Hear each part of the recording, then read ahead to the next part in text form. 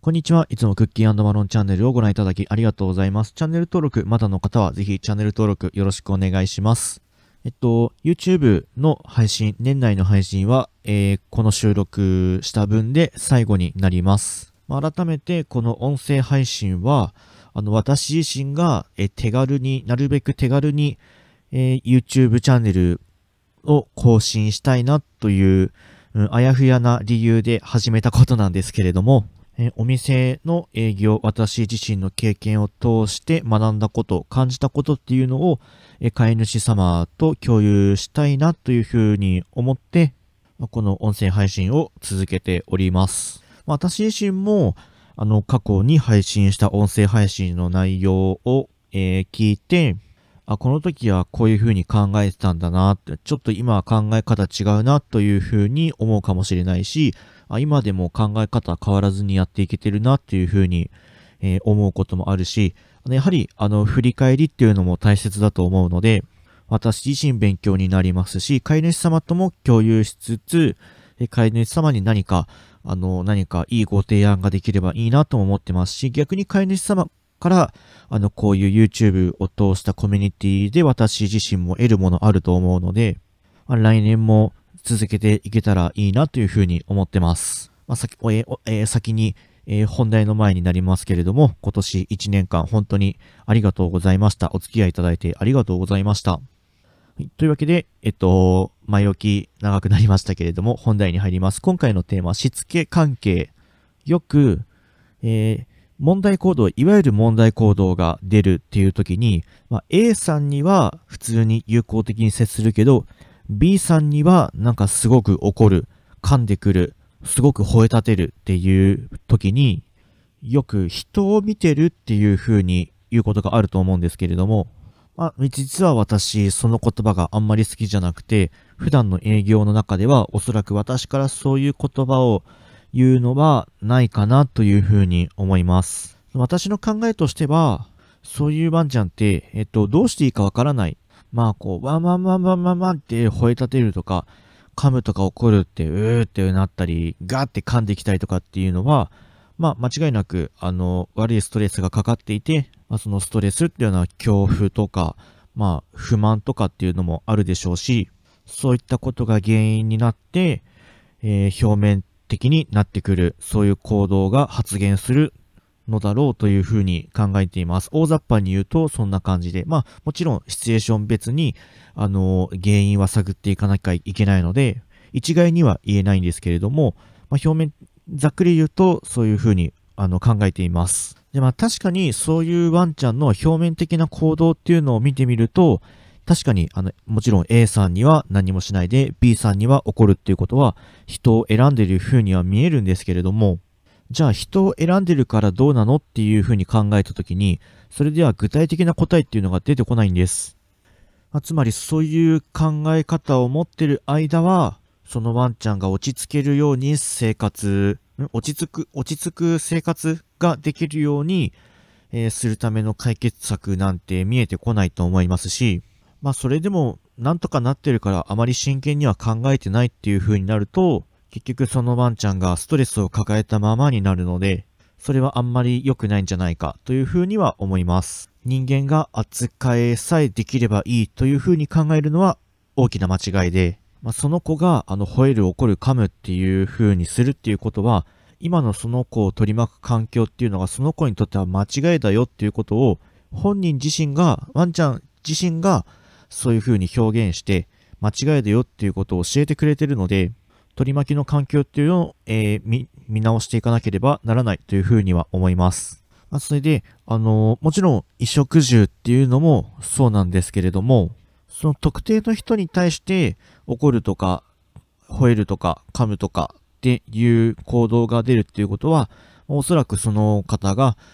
何か変わらなきゃいけないというふうに思うんですけれども、そこで、こう、下に見られてるから、優位に立たなきゃいけないという、毅然とした態度で接しなきゃいけないとかよく言うと思うんですけれども、それもちょっと私違うなっていうふうに思ってます。じゃあ、毅然とした態度って何？具体的にどういうこと？それを提案してくるあなたは、毅然とした態度で普段から振る舞えてますか？というふうに思ってて、まあ、気持ちで接する、気持ちで接する上で確かにまあ、ポイントになってくるかもしれないんですけれども、私はそこにはほとんど重点は置いてないです。その犬を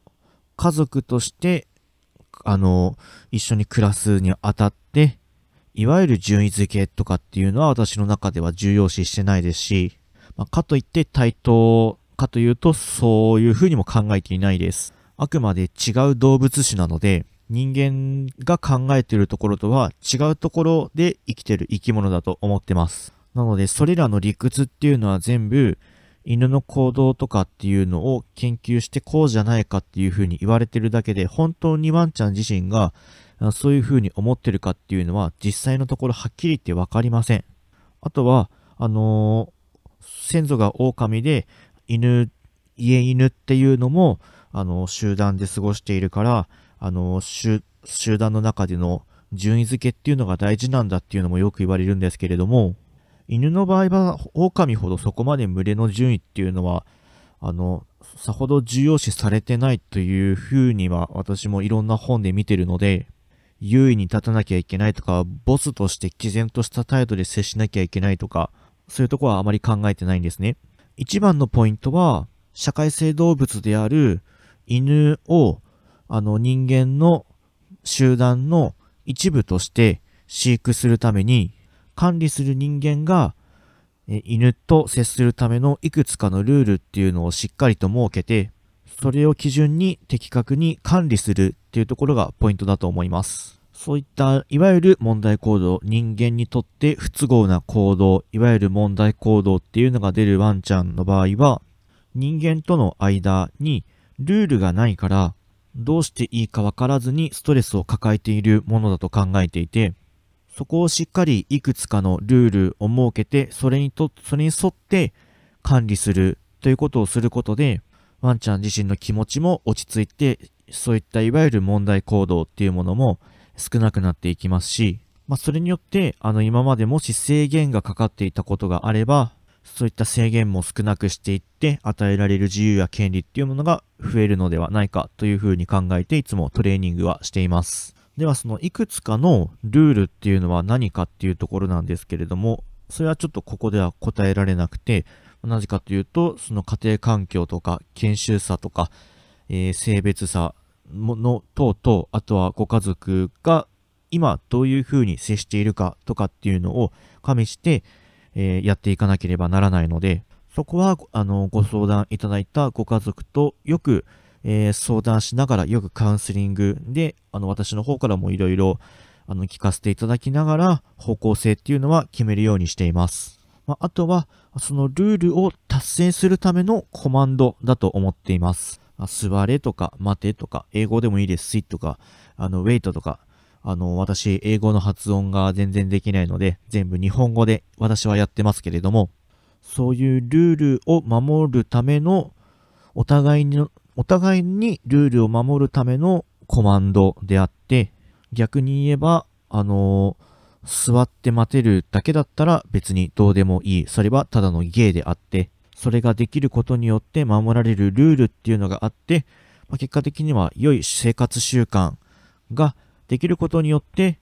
やっとそれが、あの、家族とし、あの、いう風に言えるのではないかというふうには思ってます。まあ、犬にとっては群れの仲間。まあ、人間は、あの、家族っていう風に言葉としては言いますけれども、実際には集団の中の一部、え動物種がそもそも違うので、まあ、言葉のあやというか、これはもう、あの、選ぶ言葉によりますけれども、あくまで集団の一部だけど大切な家族であるというふうに言えるのではないかというふうに思います。まあ、なので、あのー、もし、その、人によって態度を変えるっていう子がもしいたときに、なるべく早めにトレーナーさんに相談していただければなというふうに思います。まあ、なんとか扱えればいいかなというふうに思う方も多いと思うんですけれども、結果としてそういう行動が出るっていうことは、あの先ほど申し上げた通り、その子自身が大きなストレスを感じて生きているから、そういう風になるので、それはその子にとってやはりかわいそうだと思うので、それら、えー、苦痛、ストレスっていうものを取り除いて、お互いに普通に過ごせるようになると、もっと素晴らしい家族として一緒に過ごしていけるんじゃないかなっていうふうに思うので、どちらのトレーナーさんでも大丈夫だと思うので、まずはあのトレーナーさんに相談してみていただければというふうに思います。それでは今回はこんな感じで終わります。ありがとうございました。次回もぜひよろしくお願いします。